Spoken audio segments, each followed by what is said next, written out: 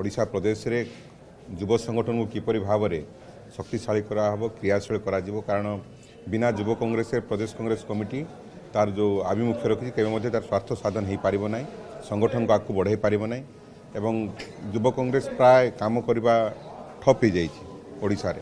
ତ ସେହି ପରିପ୍ରେକ୍ଷୀରେ ଆଜି ଆମେ ସାରା ଓଡ଼ିଶାରୁ ପ୍ରତ୍ୟେକ ଜିଲ୍ଲାରୁ ଯୁବକମାନଙ୍କୁ ଡାକିଛୁ ପାଖାପାଖି ତିନିଶହରୁ ଚାରିଶହ ଜଣଙ୍କୁ ଆମେ ବର୍ତ୍ତମାନ ସୁଦ୍ଧା ଭେଟ ହୋଇସାରିଲୁଣି ସୁନ୍ଦର ଭାବରେ ବୁଥ୍ ସ୍ତରରୁ ପ୍ରଦେଶ ପର୍ଯ୍ୟନ୍ତ যুব কংগ্রেস সংগঠন কো পুণি থরে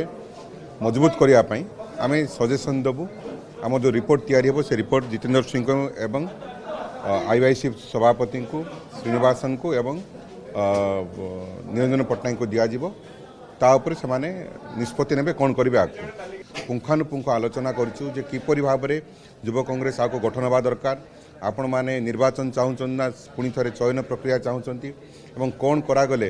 ଯୁବକମାନେ ଆମ ସହିତ ଯୋଡ଼ିବେ କିପରି ଆମେ ଯୁବକମାନଙ୍କର ଆସ୍ଥାଭାଜ ନେଇପାରିବା ସେମାନଙ୍କୁ କିପରି ଭାବରେ ବିଶ୍ୱାସ ନେଇପାରିବା କ'ଣ ସବୁ ରାଜ୍ୟର ଇସ୍ୟୁ ଅଛି ଯେଉଁ ଇସ୍ୟୁକୁ ନେଇକି ଆମେ ଯୁବକମାନଙ୍କ ସହିତ ଆଲୋଚନା କରିବା ଏବଂ ସେମାନଙ୍କୁ ସଂଗଠନରେ ସାମିଲ କରାଇବା ଏଭଳି ବିଭିନ୍ନ ପ୍ରଶ୍ନର ଉତ୍ତର ଆମେ ଦେଇଛୁ ସେମାନଙ୍କୁ ଏବଂ ସେମାନଙ୍କଠାରୁ ଆମେ ଉତ୍ତର ନେଇଛୁ ଆଶା କରୁଛି ସମସ୍ତେ ଏକଜୁଟ ହୋଇକି ଯୁବ ଯୁବ ସଂଗଠନକୁ ପୁଣି ଥରେ କ୍ରିୟାଶୀଳ କରିବା ପାଇଁ ସମସ୍ତେ ଜାଗ୍ରତ ହେବେ ଏବଂ ସଚେତନ ହେବେ ପ୍ରଦେଶ କଂଗ୍ରେସ କମିଟି ବିନା ମହିଳା କଂଗ୍ରେସ ବିନା ଛାତ୍ର କଂଗ୍ରେସ ବିନା ଯୁବ କଂଗ୍ରେସରେ ଆଗକୁ ବଢ଼ିପାରିବ ନାହିଁ ସେମାନେ ଆମର ଭାଇଟାଲ୍ ଅର୍ଗାନ୍ ସେମାନେ ଆମର ଅବିଚ୍ଛେଦ ଅଙ୍ଗ ଏବଂ ସେମାନେ ସ୍ଥାଣୁ ହୋଇଯାଇଥିବାରୁ ପ୍ରଦେଶ କଂଗ୍ରେସ କମିଟିକୁ କାମ କରିବାରେ ବହୁତ ଅସୁବିଧା ହେଉଛି ତ ଆମେ ଚେଷ୍ଟା କରିବୁ ଏ ମାସେ ଦୁଇ ମାସ ଭିତରେ ଏ ସମସ୍ତ ଛାମୁଆ ସଂଗଠନକୁ ସଜାଡ଼ିକି ଆମେ ଆଗକୁ ବଢ଼ିବୁ